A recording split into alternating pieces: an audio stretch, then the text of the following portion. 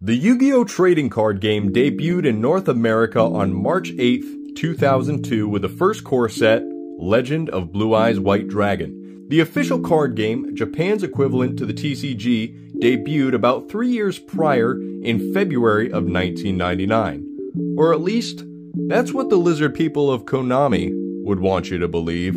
On April 4th, 1998, the Bandai Company debuted a new physical card game for the Yu-Gi-Oh! franchise after acquiring a merchandise production license from the entity that created the original Yu-Gi-Oh! anime, Toei Animation. Over the next six months, Bandai would release three sets of Yu-Gi-Oh! trading cards under the name Yu-Gi-Oh! Bandai's official card game. Totaling 121 cards, most of these truly original cards would translate to both Japan's OCG and North America's TCG, keyword being most.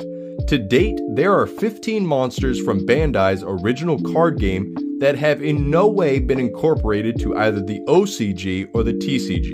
These are the lost cards of Yu Gi Oh! Yu Gi Oh! Bandai's official card game was a vastly different experience from the juggernaut of a card game that we know of today. There were 13 rules, some of which were emulated in the OCG and TCG, but several are far removed from today's game in every aspect. Interesting fact these 13 rules were loosely treated like key terms. For monster cards that didn't have unique effects, one of these 13 rules were printed as their card text, as opposed to the flavor text that we get from the modern normal monster. First Generation was the first set of the Bandai Yu Gi Oh! card game, and this set holds two monsters that were never brought to the modern era.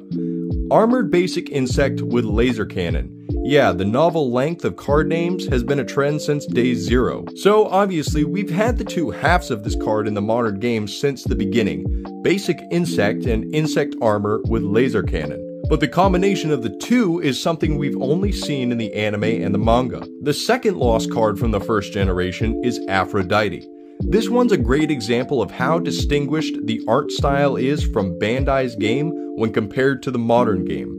No lollies here, only big mommy vibes. The second generation, and you guessed it, was the second Bandai set, actually didn't have any unique cards from the modern game. So, we'll move right along to Gen 3 Yu Gi Oh! Ruby and Sapphire. The third generation was released on October 10th, 1998, and contains the final 13 lost cards of Yu Gi Oh!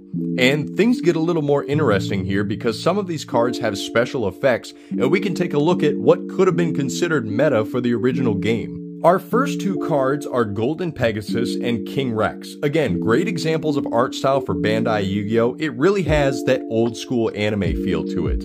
And you can kind of see where some of these cards would draw inspiration for future cards that we would see in the modern game. The next four cards are the first example of special effects in the game, at least with the card pool that we're looking at. Yellow, red, and violet Hecate all share the same effect text of the following. When you gather the goddess triplets of wickedness in play, the card Gorgon can be played. Why are they speaking in fortune cookie? I can gather that this would translate to if you control all three of the Hecates, you'd be able to special summon this card Gorgon. But they worded it in the most philosophical way possible. The monster card Gorgon basically restates the effect text of the Hecate cards, but also includes the ability to attack three times consecutively. Can we bring the word consecutively to the modern game? Feels classy. King Beetle, Rock Gun, Night Soldier, Neon Knight, Chimera, and Dark Zorla bring us through all but one of our remaining lost cards. All cards without special effects and simply have one of the 13 game rules printed as their card text. I still can't understate how amazing the artwork for this version of the game was.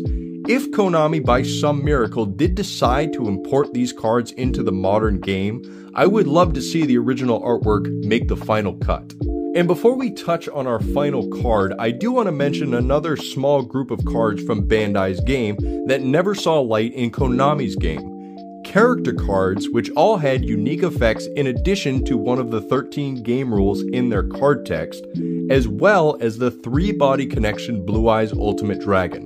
I'm not considering these cards as lost to the game because we don't have a modern equivalent to the character cards, and the Blue Eyes Ultimate Dragon is more so a novelty of the game itself and not a mainstay throughout. But our 15th and final lost card of Yu Gi Oh! is no mere monster, but a spell Dragonic Pulse of the Land. Boy, that sounds like a great support card for the vast amount of dragon monsters in this game. What's the effect? You can increase the attack strength of a fiend type monster plus 800. Huh?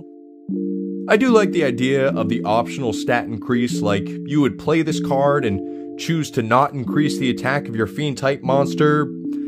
But that does it. Those are the 15 lost cards of Yu Gi Oh! So now we know of every physical card for the game of Yu Gi Oh! starting from the absolute beginning.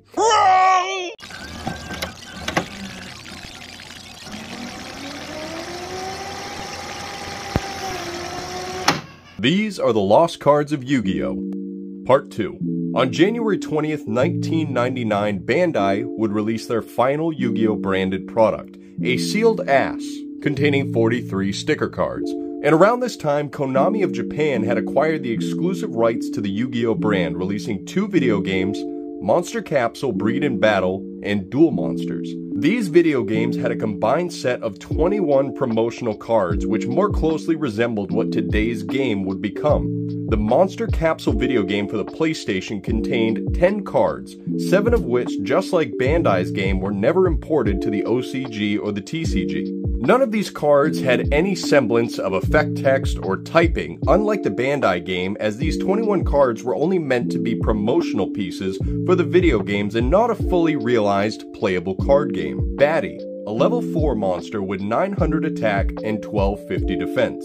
Demonis, a level 6 monster with 1800 attack and 1200 defense. Dinosaur Wing, a level 5 monster with 1500 attack and 700 defense. Ironoid, a level 5 monster with 1100 attack and 900 defense. And according to the Yu-Gi-Oh! wiki, this card's name is a pun of the words eye and iron. I don't know if that's Japanese humor. but if it is, we need a new Japan immediately. Red Scorpion, a level 5 monster with 1300 attack and 900 defense. Spyro, I mean, the Runner Lizard, a level 4 monster with 800 attack and defense. And finally, Sonic Eye, a level 5 monster with 1200 attack and 1000 defense. As far as the stats of these monsters go, you can see the early works of what would be the first sets of both the TCG and the OCG, with levels matched with attack and defense spread that, by today's standard, would be laughable at best. The artwork, though, raises some questions.